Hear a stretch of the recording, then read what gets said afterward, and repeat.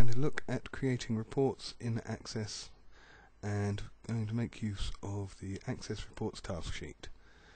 These is using the queries created using the Access Queries task sheet. First one we're going to look at is relatively simple. Create a report using the query 28ab friend your name. All we need to do is save the report and print it.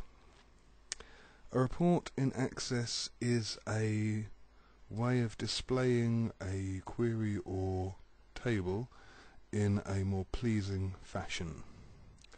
All we have to do is highlight or select the object that we're making a report of, go up to the Create tab, opening the Create ribbon, and then click on the Report button. This creates a basic report of the data in the current query or table to which you can add features such as groups or totals. So for level 1, all we need to know is how to produce a report. It is almost as simple as just clicking this button. But once the report is created, there are a number of things that we may have to change.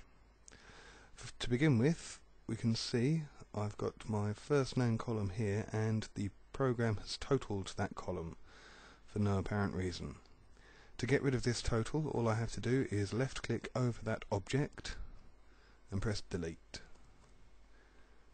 Note that in this example I've still got a blue line where the total was, so again if I left click over that object and again press delete.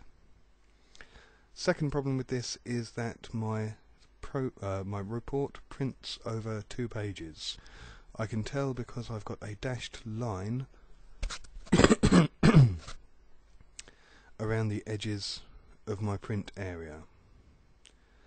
The easiest way to resize the page to make it all fit onto one sheet of paper is to resize these columns.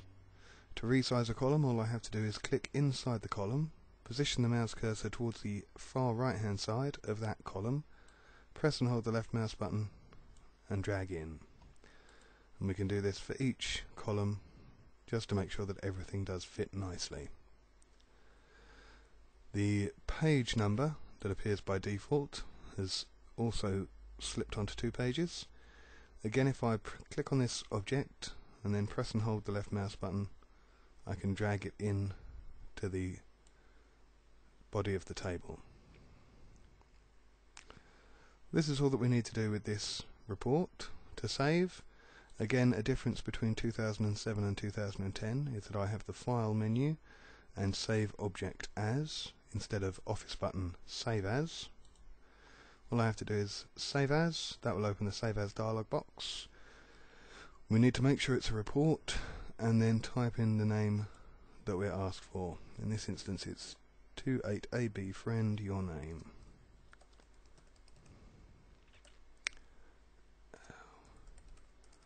And then report. Remember when you're typing in file names you do have to make sure that you follow case exactly. So I've saved my report and I can tell by the change in the name tab to print this, again if I say file and print, and it's always best to check the print preview beforehand just to make sure that it does all fit onto one page or it is in portrait or landscape depending on what you're asked for. Right, so that's creating a relatively simple report. If we look to task number three, we're asked to create a report using the query oldrlun, your name. Ensure all fields are added to this report. This merely means make sure that everything in the query can be seen in the report. And then ensure the report is in landscape orientation.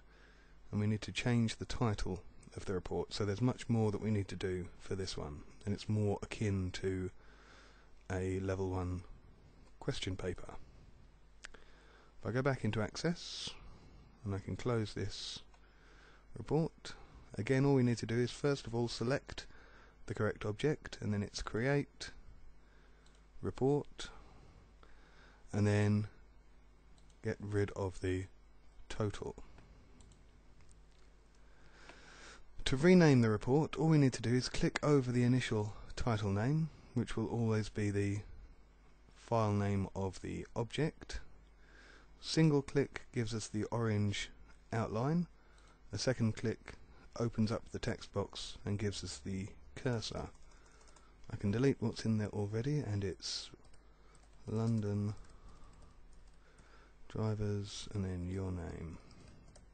What you'll see as I type in my surname is that the text box isn't quite long enough and we're starting to lose information at the column headings. All I have to do is click outside of the box to confirm it's typing and it has shifted it down.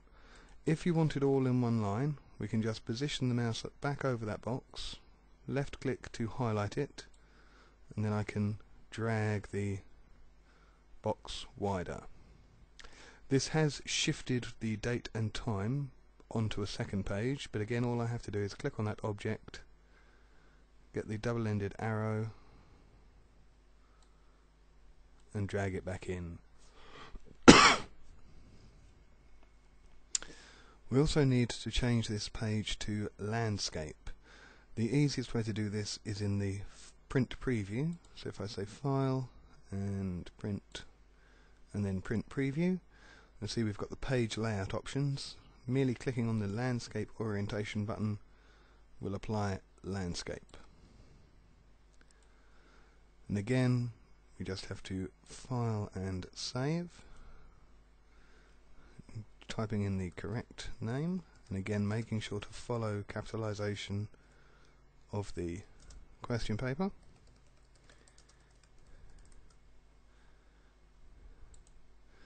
and then to print we could select print and again print preview to make sure it's all correct and all on one page and then just send it to print so that's creating reports.